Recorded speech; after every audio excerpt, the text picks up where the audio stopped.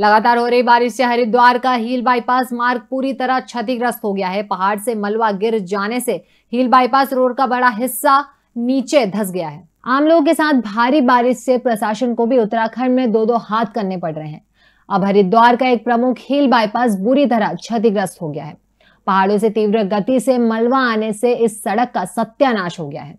Bypass का एक बड़ा हिस्सा जो बुरी तरह धस गया है। जिससे यहाँ आवाजाही पूरी तरह से रोक दी गई है। प्रशासन ने कावड़ मेले और सोमवती अमावस्या स्नान की भीड़ नियंत्रित करने के लिए हिल बाईपास रोड खोला था। हालाँकि लगातार हो रही बारिश से हिल बाईपास रोड क्षतिग्रस्त हो गया है और फ़िलहाल सड़क का इस्तेमाल नहीं किया जा सकता है। जिला अधिकारी धीराज सिंह गर्ब्याल ने क्षतिग्रस्त हिल बाईपास रोड का निरीक्षण किया। जिला अधिकारी के मुताबिक रोड का दोबारा निर्माण कराया जाएगा। अब इसका इस्तेमाल हो पाना मुश्किल है।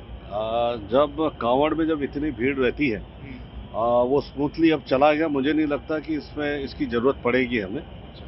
लेकिन फ्यूचर के लिए तो हमें बनाना ही पड़ेगा इसलिए निरीक्षण पर आया था। और इसमें देखिए पूरी रोड आपकी निकल चुकी है तो दोबारा हमें एक एस्टिमेट बना के कम से कम जितनी भी धनराशि लगती है हमारी वो आपदा से हम लोग डिमांड करेंगे क्योंकि फ्यूचर में भी हमें ज़रूरत पड़ती रहेगी इस रोड की तो फॉरेस्ट डिपार्टमेंट के माध्यम से इसको बनवा वो खबरें जो आपके काम की है। वो खबरें जो आपके लिए ज़रूरी है। हर आम और खास से जुड़े मसले। हर मसले का सटीक विश्लेषण। हम करते हैं सत्य का अन्वेषण। दखल न्यूज़। आपके हक में।